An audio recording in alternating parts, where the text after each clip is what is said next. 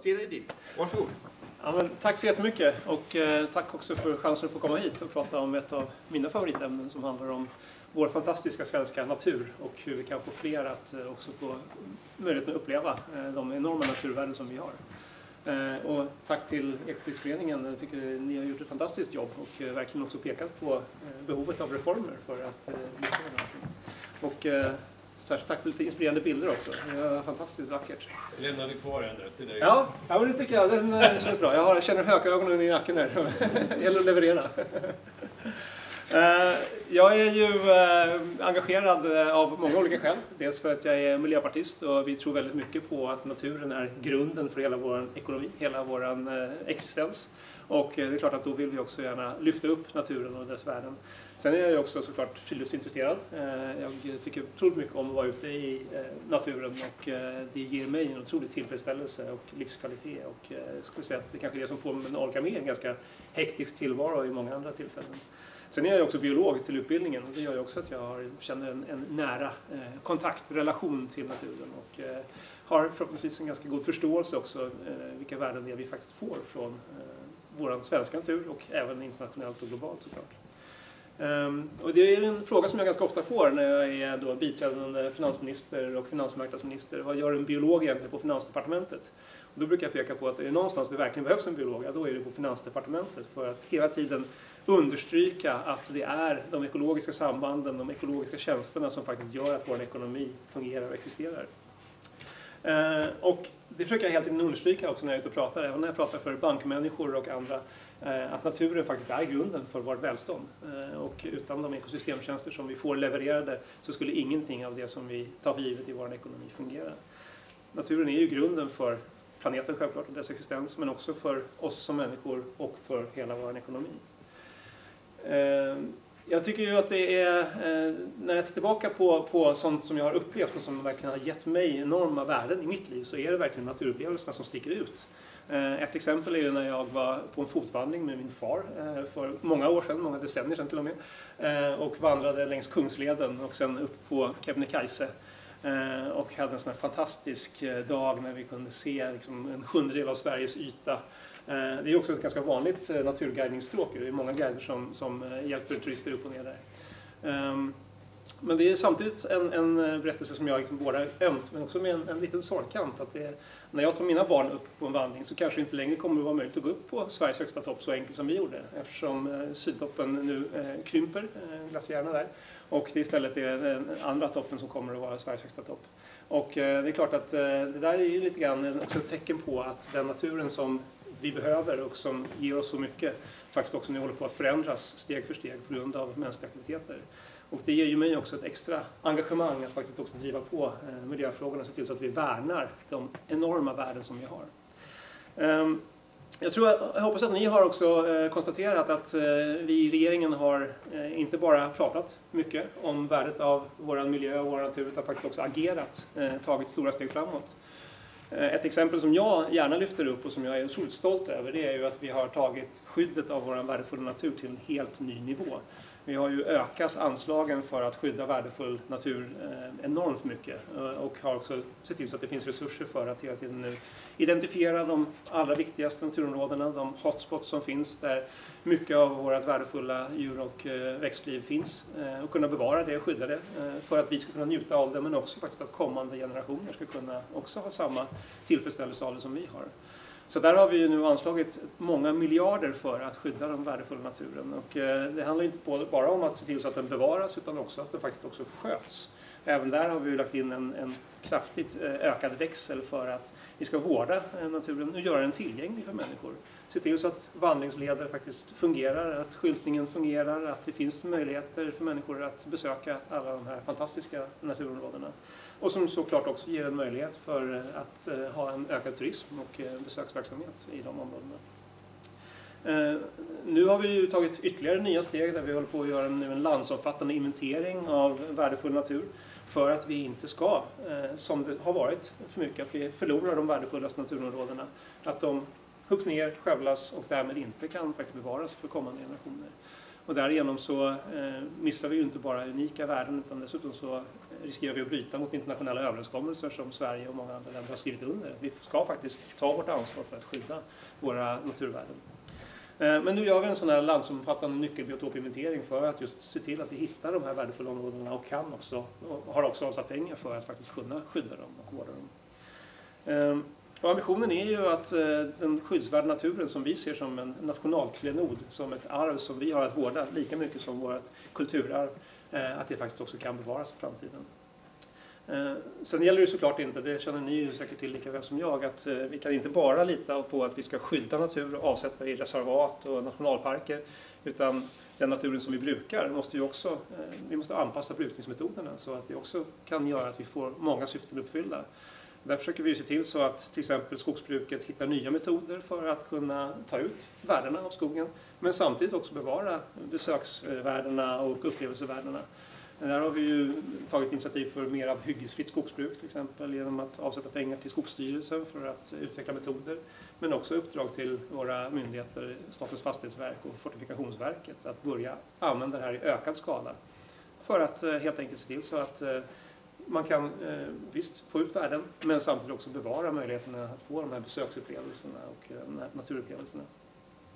Så tillsammans eh, så är det här en, en ganska unik satsning skulle jag säga där Sverige sticker ut. Där vi gör en sån kraftig satsning på både att skydda men också att eh, öka möjligheterna att, eh, att besöka och få ut värdena av naturen.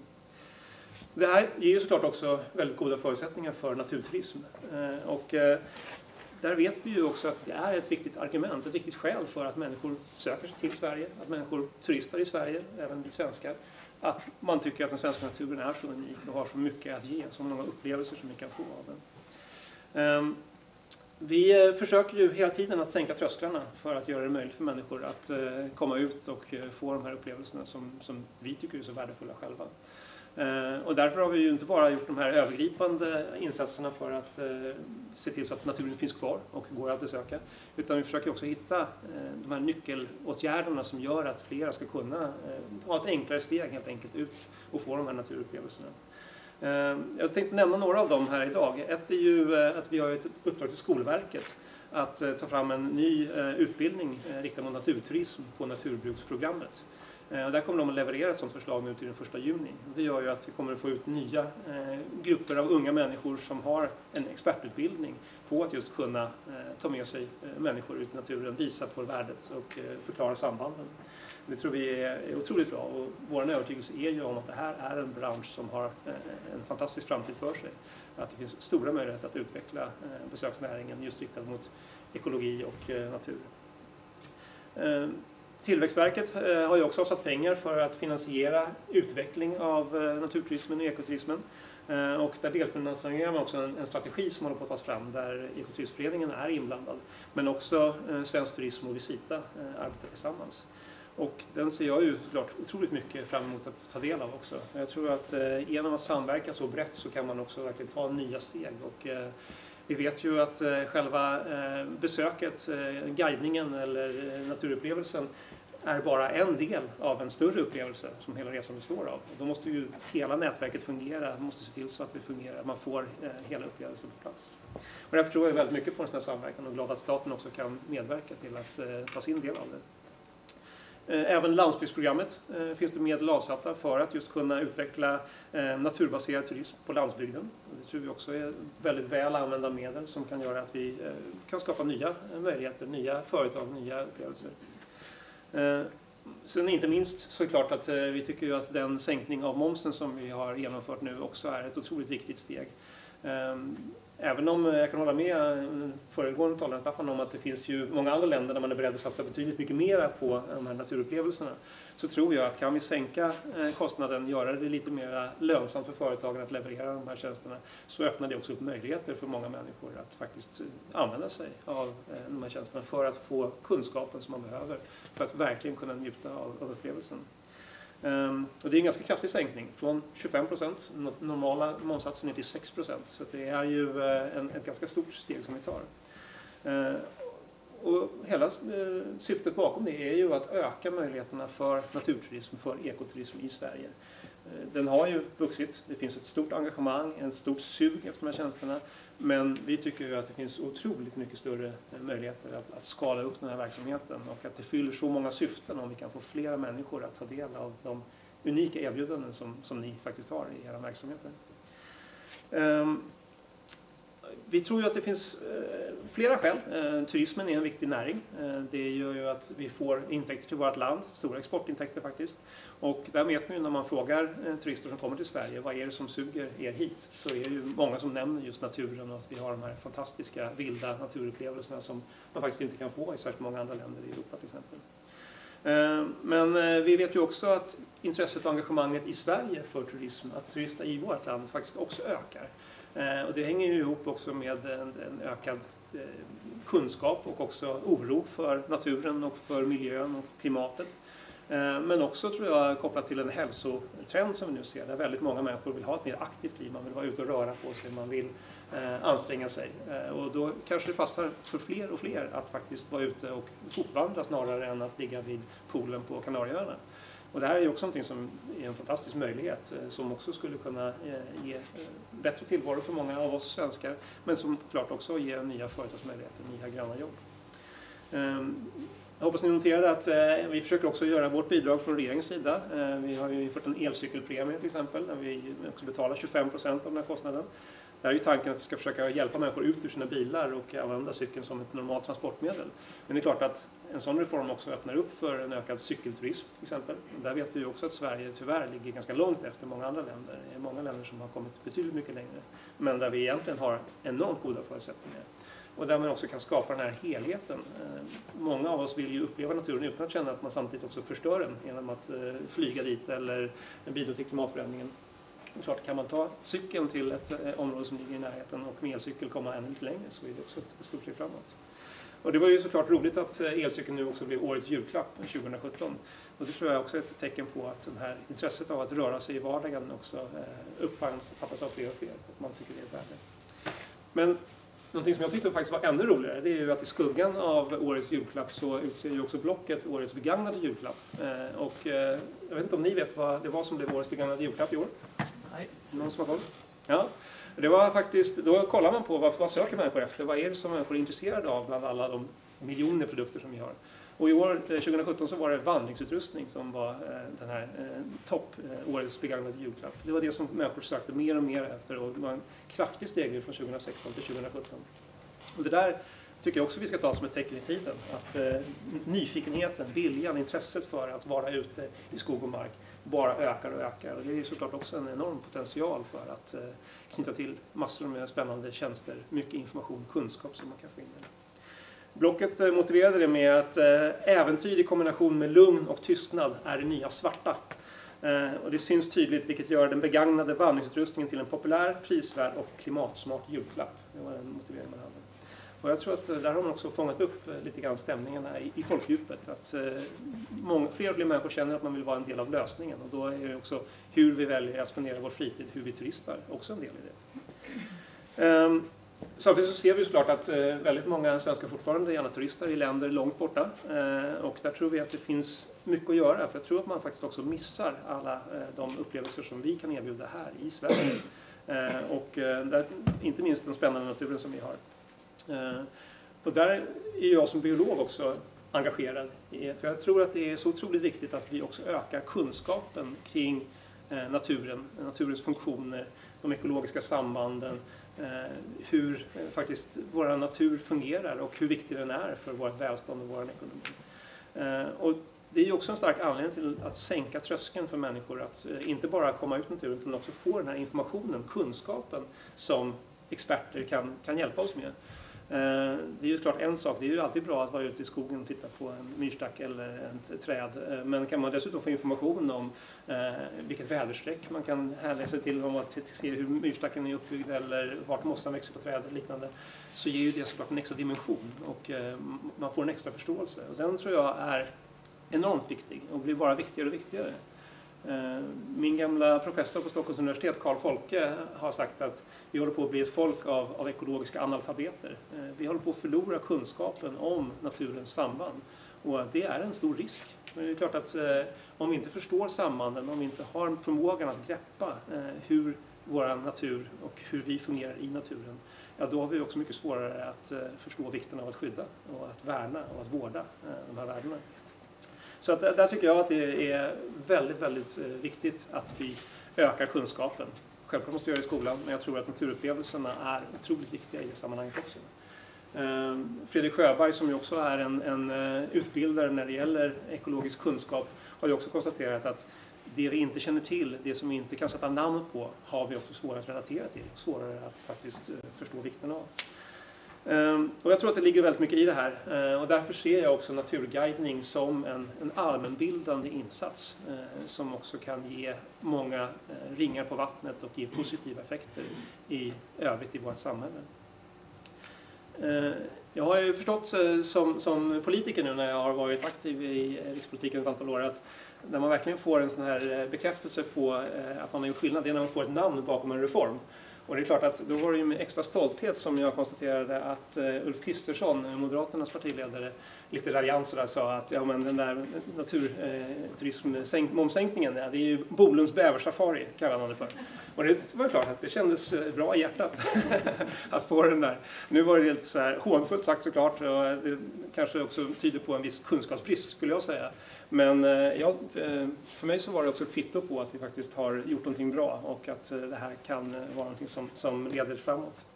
Ehm, men jag hoppas ju att, jag har faktiskt tänkt att jag ska någon gång ta med mig Ulf Kristersson ut på en, en bäversafari och visa på vad det är faktiskt han pratar om. Jag tror det skulle vara ganska nyttigt för honom också att få, få den upplevelsen. Ehm, för jag tror att, att det är viktigt att vi nu börjar också prioritera det ekologiska värdet av, av ehm, svensk natur. Och, Svensk turism har ju också väldigt tydligt slagit fast eh, när man gör sina undersökningar att Sveriges natur utgör inte sällan själva reseanledningen för eh, både nationella men också internationella besökare. Och eh, det är ju, ju, ju, mer tillgänglig vi kan göra den upplevelsen desto större sannolikhet är det att vi kan ha en överlag växande turistverksamhet i Sverige och en turistnäring. Ehm, vi vet ju också väldigt väl att eh, ekoturismen, naturguidningarna genererar inte bara intäkter för själva guiden och företaget som utför den utan det är så otroligt många kringtjänster runt omkring med övernattningar, restaurangbesök, eh, ja, olika former av upplevelser kopplat till det här. Eh, så att det blir ju också eh, av den anledningen viktigare och viktigare eh, ekonomisk verksamhet. Inte minst eh, eftersom vi också har en utmaning med att se till att det finns jobb i hela landet så är det Eh, verkligen otroligt viktigt att vi kan få det att växa framåt. Um, jag vet ju också, eh, och det var ju du också inne på Per, att det finns en del gränsdragningsproblem när det gäller den här eh, sänkningen av momsen. Där är ju strukturen sån att vi från politiken sätter ramarna, vi sätter av pengar i budgeten och vi sätter en definition. Sen är det Skatteverket som i slutändan uttolkar hur man ska utforma och uttolka de här reglerna. Men eh, där hoppas jag ju att det kommer att sätta sig en praxis och att den över tid kan bli eh, mer och mer generös och tillåtande. För att eh, syftet som vi har och anledningen till att vi satt av så mycket pengar är ju att vi, vi ser det här som en omfattande reform. Vi ser det som att sätta så få avgränsningar som möjligt. Så att där, jag vet ju att det också diskuteras att man kanske ska pröva det här i, i ja, få förhandsbesked helt enkelt omkring vad det är som gäller. Och det tycker jag är alldeles utmärkt att man nu försöker sätta en praxis. Eh, och vi kommer såklart att följa det väldigt noga också. Och visar det sig att gränsen blir för snäv, ja då får vi fundera på om det finns ytterligare åtgärder vi behöver vidta från, från politiskt håll. Um, sen så eh, vet jag ju att eh, den här branschen, naturturismbranschen, består ju väldigt mycket av, små företag som samverkar i nätverk. Och, där försöker vi ju också göra mer generella insatser för att också göra det lättare för småföretag att kunna fortsätta utvecklas och växa. Där vill jag också lyfta fram eh, till exempel eh, eh, att vi nu möjliggör för de som anställer sin första medarbetare att få en slopad arbetsgivaravgift. Och det tror jag är också en otroligt viktig reform för att skapa möjligheter för de allra minsta företagen att kunna ta det stora steget som det ofta innebär att kunna anställa en första medarbetare. Sänker vi den tröskeln, ja, då gör vi också möjligt för företagen att kunna expandera och erbjuda sina tjänster till fler.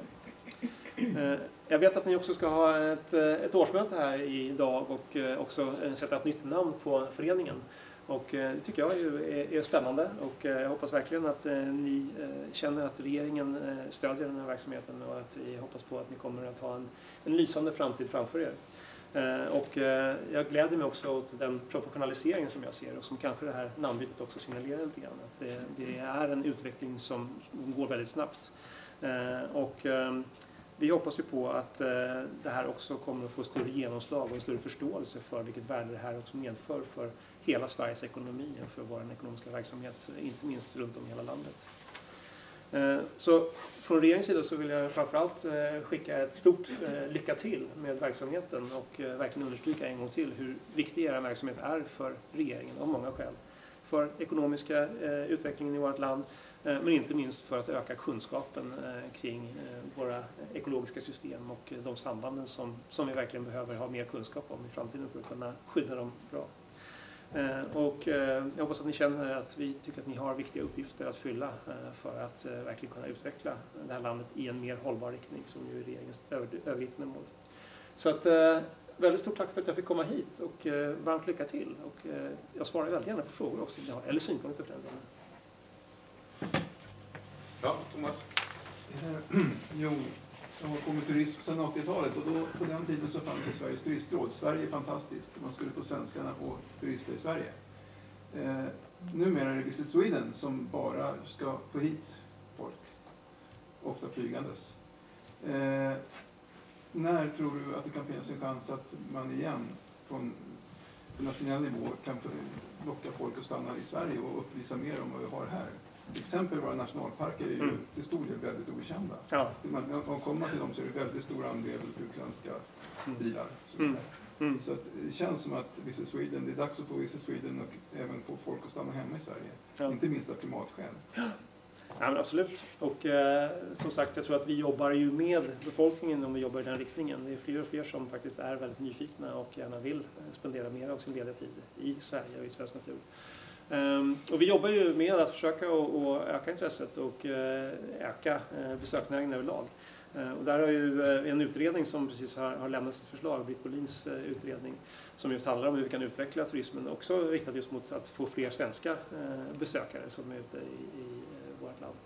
Ehm, de förslagen är ute på remiss nu, men där finns det ju en möjlighet också för er att komma in med era förslag och synpunkter på hur vi kan skapa ännu större möjligheter för, för en svensk besöksnäring och att den ökar också.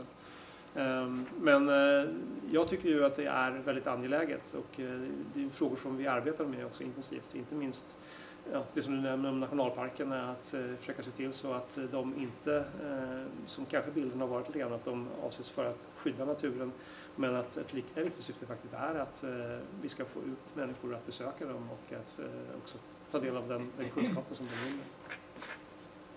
Man får knyta an där till nationalparker och Britt Bolins utredning så finns det ju ett förslag om att man ska ge Naturvårdsverket i uppdrag att utveckla naturturism mm. i våra nationalparker. Mm. Och det är en fråga som vi från Elektroutredningen har drivit under lång tid.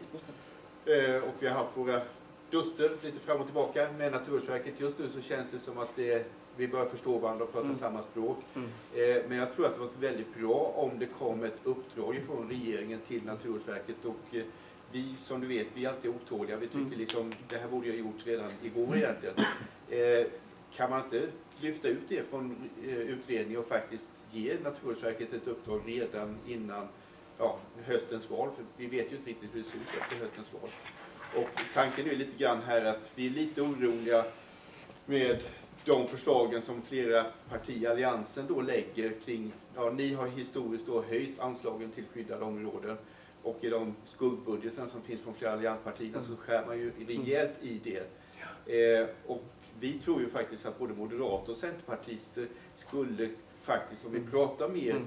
intäkter när det gäller nationalparker, så mm. tror vi att, att Alliansen faktiskt skulle se lite annorlunda på det där. Mm. Eh, vore inte det smart att, att skruva till det där lite grann och ge Naturvårdsverket ett uppdrag och inte bara se naturskyddet som en utgift utan även som en intäktskälla. Mm.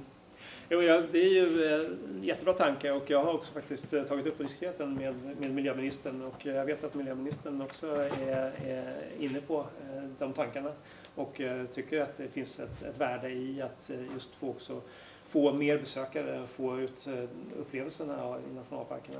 Så att, jag vet att det är någonting som man arbetar nu på Miljödepartementet intensivt med. Ehm, Sen är det ju alltid så, politikens villkor är sådana att vi kan sätta regler här och nu men en kommande regering kan alltid ändra dem. Eh, så att det är ju inte något permanent liksom, skydd att vi får igenom en reform. Utan det vi kan göra är ju att just visa på möjligheterna, argumentera för de miljömässiga men också ekonomiska värdena.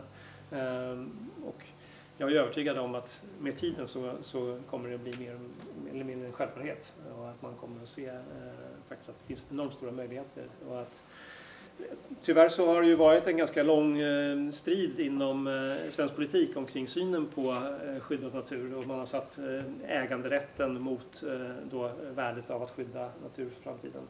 Jag tycker att det är en väldigt olycklig låsning och jag tycker också att den synen som man har haft på, på svensk skogsbruk eh, har ju varit för snäv helt enkelt. Man har nästan bara sett till en enda resurs, vilket är virket i skogen.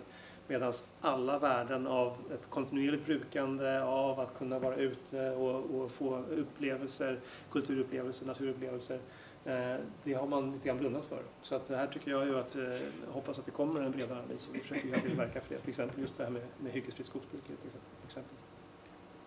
Vi har någon som viftar här nere. Där. Hej, Adam heter jag. Eh, vi pratade om nationalparker.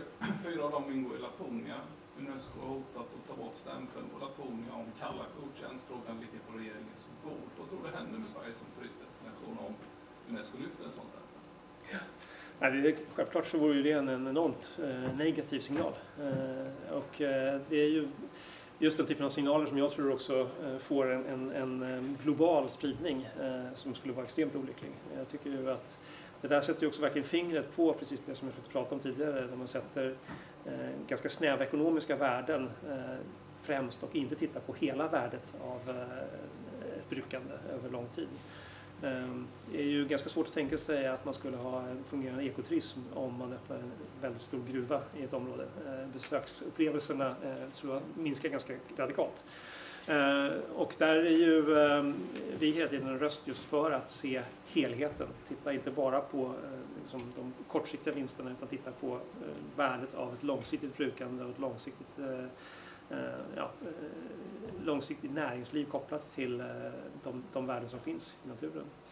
Ehm, så att det där är ju, eh, nu ligger ju inte det på, på mitt bord på Finansdepartementet men det är ju en fråga som, som regeringen har hela tiden på sitt bord och, och eh, där vi också har eh, kan jag säga, intensiva diskussioner omkring hur man ska hantera de frågorna. Men vi tycker att det, är, det viktiga är ju att just titta på ehm, alltså man, genom öppen gruva kan man ju få kortsiktiga vinster under kanske några tiotal år. Medan de vinster som man kan få av natur som har stora naturvärden, de går ju över hundratals år och eh, är permanenta. Eh, och det där tycker jag ofta man missar i den kvartalsekonomi som vi tyvärr fastnar i för mycket.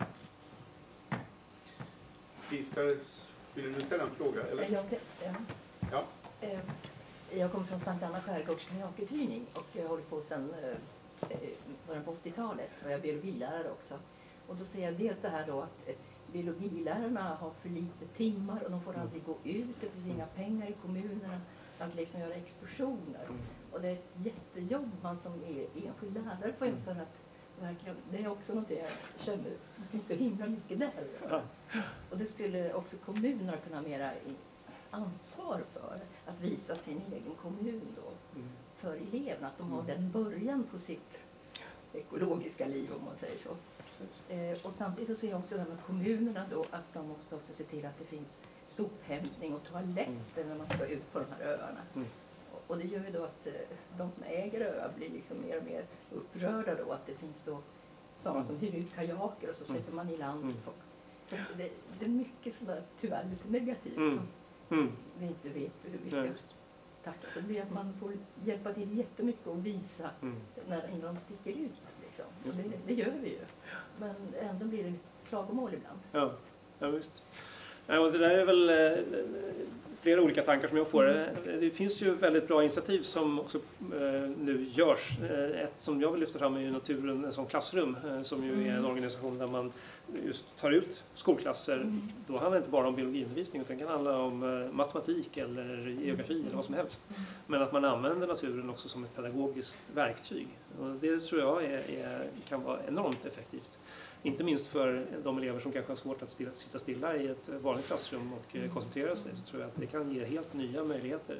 Um, och det är ju en verksamhet som, som vi också stödjer eh, via våra myndigheter till exempel, att försöka använda eh, den typen av pedagogik mycket mer än vi gör idag.